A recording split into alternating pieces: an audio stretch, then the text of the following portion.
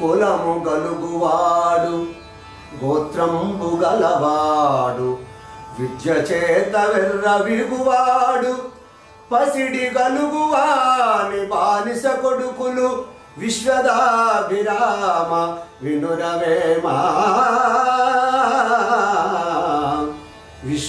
విశ్వదాభిరామ వినురవేమా కులము గలుగువాడు గోత్రంబు గలవాడు విద్య చేత వెర్రవిగువాడు పసిడి గలుగువాని బానిస కొడుకులు. విశ్వదాభిరామ వినురవేమా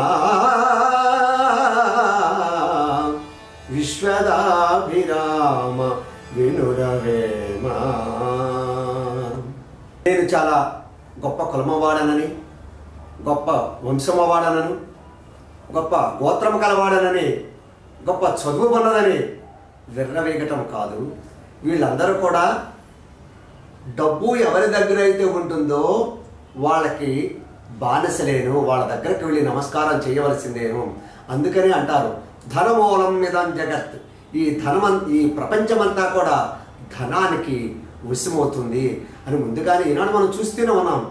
ధనానికే దాసోహం అనాల్సిందే కానీ కులము గోత్రము చదువు వీళ్ళ సంస్కారం ఎందుకు పనికిరావని ఆనాడే కొన్ని వందల సంవత్సరాల నాడే వేమన నేటి కాలానికి అనుగుణమైనటువంటి పద్యాన్ని చక్కగా వివరించాడు ఈ పద్యంలో.